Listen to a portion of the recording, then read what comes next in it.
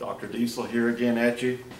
I want to talk to you about a telescoping gauge and a little bit about the proper way of using it and also holding the mic outside micrometer. These two go hand in hand. Um, this is the outside micrometer and we're going to use a telescoping gauge to read a bore. So to install it we want to compress it, they're spring loaded.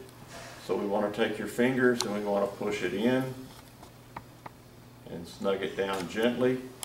We want to place it in the bore at the top of ring travel, which is about a quarter inch down. We want to expand it, hold it perfectly square, and then we want to snug it down gently. And then we want to pull it out of the bore at an angle. This always works better than when you have a partner to hold it. Holding this and doing it with just two hands is a little challenging. So normally I just tell you to find a hole somewhere on the engine that it, it can go uh, when the engine is, is this away. What we're wanting to do, what I'm wanting to show you here, get this figured out, is to use these two fingers to turn the four to five inch micrometer to run it just up to it just touches and then remove it and read your measurement. What the common mistake is that students make on a continuous basis is they use this part of the micrometer where they're, they're doing it until it hears a little click.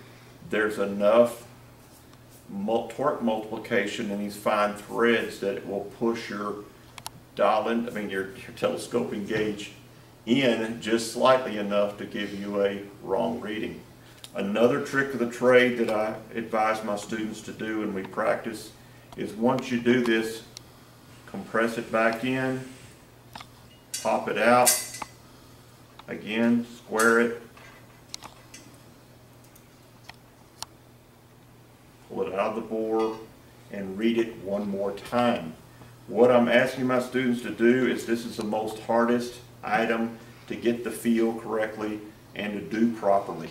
So what we're wanting to do is measure it and measure it and measure it multiple times and looking for a number that comes up perfect out of like six measurements we want to find three or four that come up the same measurement.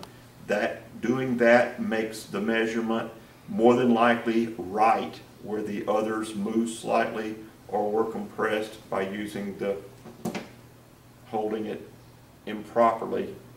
So use these two fingers as much as you can when using a telescoping gauge and you just barely want to touch it until there's no clearance left, remove it, and then check and then read your outside micrometer.